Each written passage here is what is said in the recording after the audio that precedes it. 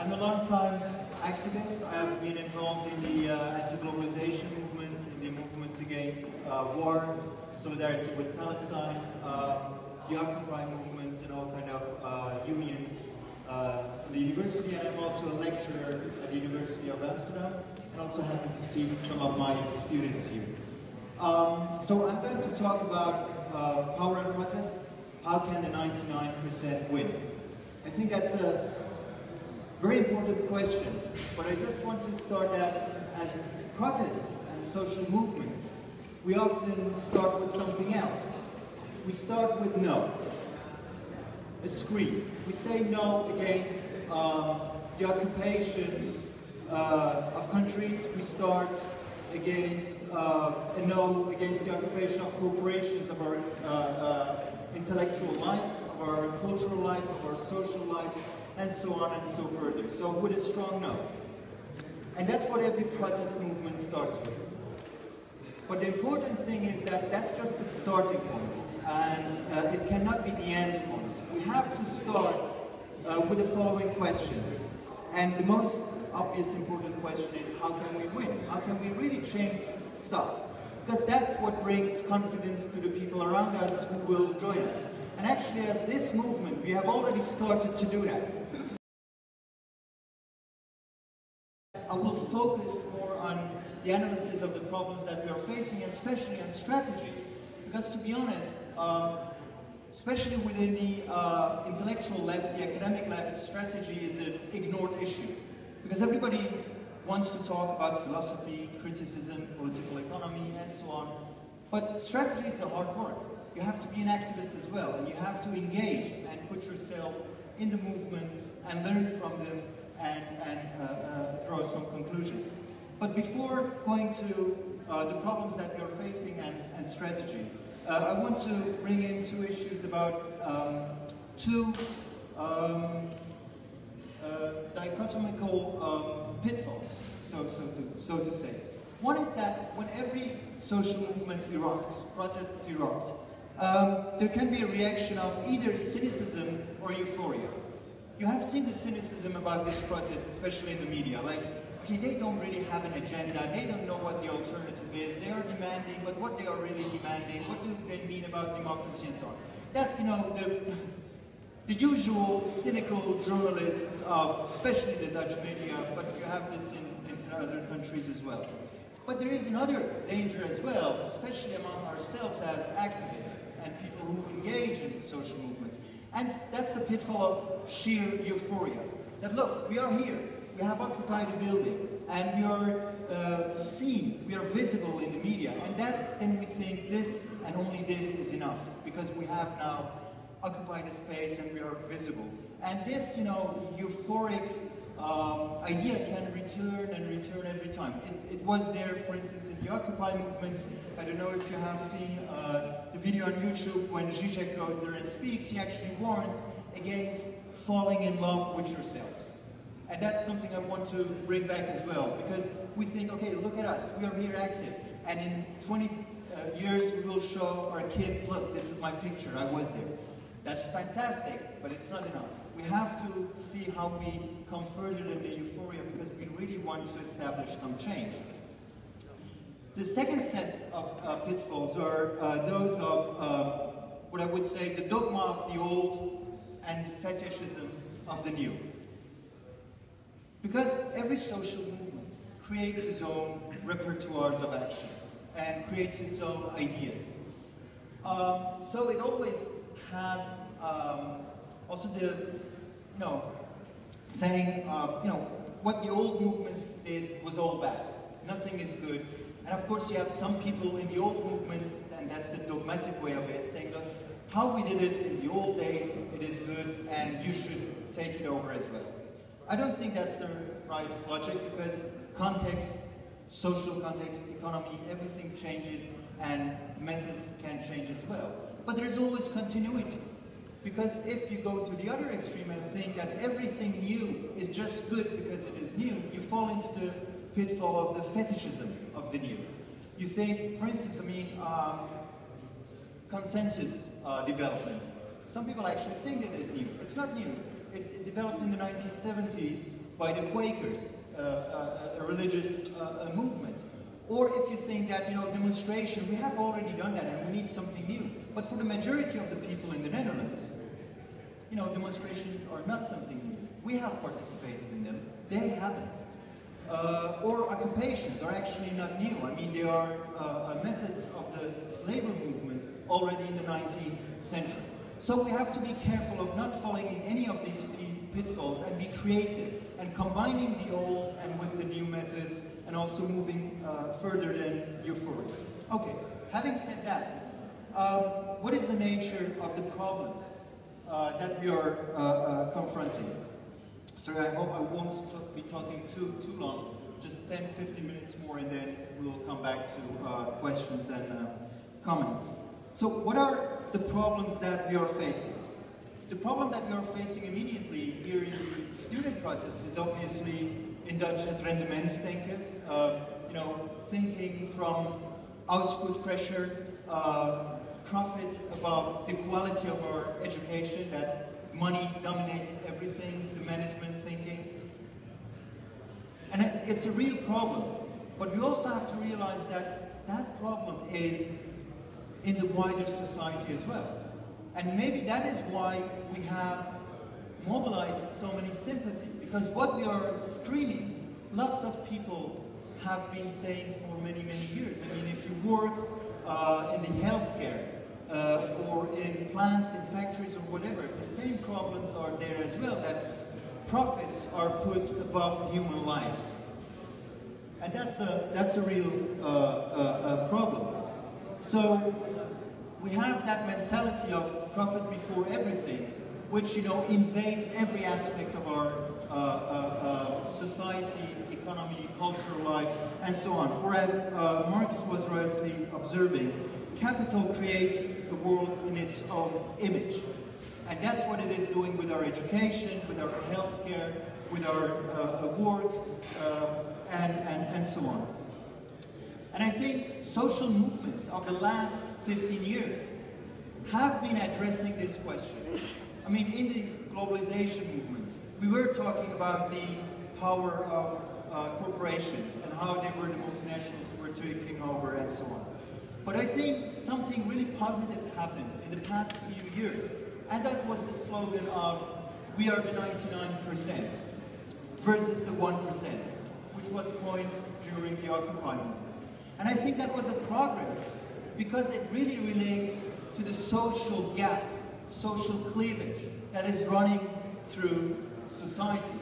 And it has started to actually put forward something which has been a taboo to talk about. Social class, that our societies are divided in social classes.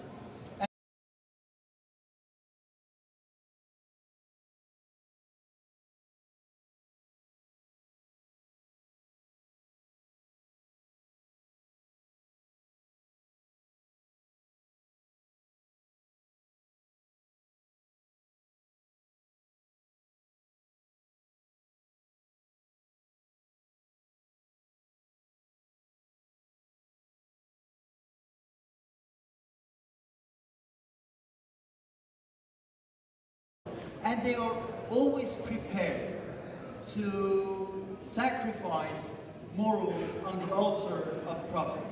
That's what they have always done, and that's what we always have ended, for instance, with wars and so on. So only a moral approach, and I think morals are and values are very important, but we can't say, okay, you know, if just the 1% acts uh, morally, the problems are solved. The other approach is to um, see this gap as something natural. And often the political right and liberals do that, of course, by saying, you know, this is just in the DNA of people, this gap. But I already showed that if it was in the DNA, how has it been growing in the past 20 years? It is actually because the 1% has the power to accumulate more and extract more from the 99%. Uh, so I won't go much into that. But there are, of course, also some people on the left coming from uh, the social democratic traditions, coming from NGOs, uh, the trade union bureaucracy and so on, who also have moved towards accepting this cleavage, this social gap, but then saying the only thing we have to do is ameliorate that gap. Just give a bit more to the 99%, which is fine. I'm all for that. But the issue is that's, as Rosa Luxemburg was calling it, it's the labor of Sisyphus. Whenever we take some back, when they get stronger, they will take it back. In the 1960s and the 1970s, the labor movement, the uh, women's rights movement, and all social movements gained some rights. But in the past 20 years, they're all being taken away again by the new liberal uh, elite. So the issue of the gap is that it's much more structural, embedded in our societies. And that, why is structural, it has something to do with, the, with, with this issue. That, you know, before wealth becomes uh, distributed unequally, it has to be produced, no? And this is something that people tend to forget, even within the left, and even within critical movements. It has to be produced. And it is at the, at the point of production that differences in power uh, emerge. The people who control the means of production, the industries, have the power to, you know, raise their own uh, uh, salaries, give themselves bonuses. They have the power to sack us as their workers or as students. We don't have that power over them. So it really uh, starts at the point of uh, uh, uh production, whether it is material production or immaterial production like services uh, and so on. The second uh, structural issue is that capital is intertwined with the state and that the state reproduces the social inequalities. You just have to look to how all kind of states over the world have reacted to the uh, economic crisis that broke out in 2008. They all, the crisis was not created by us, by people, but they said you have to pay for it. You have to pay for the debts of the big companies. So they secured the profits of the companies. This happened also in Greece, making the people pay for those debts and, you know, um, having the, uh, protecting the interests of the, of the company. So the state is important. And the third factor is ideology, of course, how it is produced in the media, universities, education to reproduce that power. Okay, I'm going towards an end because I also am eager to uh, hear your, uh, your uh, views on this. Um, within those approaches that see this gap as very structural, there are different approaches as well. Because some people, and I think, for instance, I don't know if anybody was at David Graeber's uh, talk today. I mean, David Graeber is one of those people that would actually say we have to ignore that gap of uh, power, the concentration of power, power in the multinationals, in the state, in the media corporations, and so on. This is one approach of kind of ignoring it, and the strategy flows from there. It says, it goes somewhat like this. What we need to do is to create liberated zones, autonomous zones, as here, by taking over, occupying, but do this also bigger and bring those uh, zones together. Um, and within those zones, we have to start prefigurative politics by, you know, living up to our ideals, just our social relations as they, uh, we want to have that. Um, I think it has really positive and uh, uh, uh, strong points, this way of argumentation. But I want to point to the huge limitations it has as well. Because we have seen the history of this kind of strategy. This, for instance, was the huge example uh, of kind of autonomous movements, of anarchist movements, when the Zapatistas took over Chiapas in Mexico. But what has happened with Chiapas? Chiapas has been isolated from the rest of Mexico. Poverty is still there, and it hasn't been able to break away from that isolation. The same goes for when we take over a place like this, occupy. There's always the danger that the pole of power, which is the state, which is the military, which is the police, can of course come and take us away which at one point they will try to. So if you create an autonomous zone, a liberated zone, you haven't still solved the problem because you haven't tackled the power that can come and break you. And believe me, that's what it will do. Because we have just occupied, occupied the building. But you know what the Greece people did? They voted against the neoliberal elites in Europe. And see what the neoliberal elites are doing to them. They have mobilized the power of the media, the power of capital, the financial markets, and actually put a gun on the head of the Greece, Greek people and said, you accept what we want or uh, you will perish. There is no money for you. So the issue, you cannot ignore power. You cannot ignore the state. You cannot ignore the police. You cannot ignore the army. It will come for you and it will crush you whenever it feels that you are getting too strong. That's the lesson from, uh, uh, uh from history as well. Uh, method comes also pretty tactical methods as well. I want to just bring forward two, two of them. One is the method of putting forward no demands, because this was actually something during the Occupy movements. And I think during this action, we have actually moved forward by putting demands on the CVB, on the government, and fighting for those demands, because that kind of gives you the chance to mobilize wider support within the student uh, body, but also within society uh, itself. Um, the second issue is uh, the method of consensus. Again, I think it has very strong points as well when we are in these small groups, but when we would try to organize on wider level within society, it also has its, its negative points. Because we, all, we already had it here. Sometimes these meetings go on for hours and hours, and it seems democratic. But people with children, people with jobs, people with uh, studies should be able to participate in those as well. So we have to be very careful about the methods that we create that actually are inclusive and not excluding people and not bringing forward only those people who have full-time time to come to those meetings and engage with those uh, uh, discussions. Uh, but also to be able to vote on issues, because I think that is uh, important. For instance, I have an issue to take with, with Graeber, because um, he was also one of the activists within the Occupy movement. And in Oakland in the US, the Black Bloc, um, which are part of the anarchist movements, went and trashed all shops and so on. And this created a huge debate within uh, US uh, Occupy movement and radical movement like this is not the way. This is, this is not how we want to build it. We want to have a huge movement in which everybody can participate and we should be debating these issues as well. And Graeber said, you know, there should be just diversity of tactics. And if there's consensus on that, that's enough.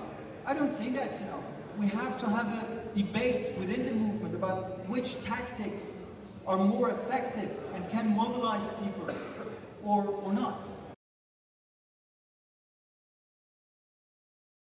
So, how to win this movement? And I will just be very, like, to the point uh, and really finish, finish there. We have to build counterpower. Have a long-term strategy of building counterpower. This is what Gramsci was calling the war of position, which has to be combined with the war of movement, as, uh, as of maneuver, as we are doing here. The moments that we come together and we challenge uh, power, uh, those in power, but in the long term we have to build alliances. Because it seems that, you know, it's great that we are here with hundreds of us, but you have to think that the UVA has thousands of students. Our challenge is how to reach out to them, how to bring them and involve them as well. The UVA has staff members. We have to bring them in. And then the problem is not solved because there are many other uh, uh, universities. And how do we build bridges towards them? And the problem is even then not solved because again, the logic of profit above everything is within old society. You know, it was great that we had the cleaners here to bring this message of solidarity.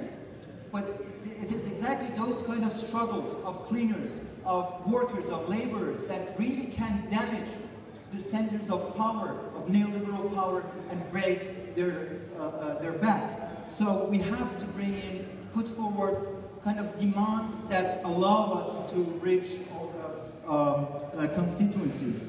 Um, and yeah, let me just finish finish by that. And um, I really would to love hear your comments and, and questions, and also to see how we can take this action further uh, to further successes.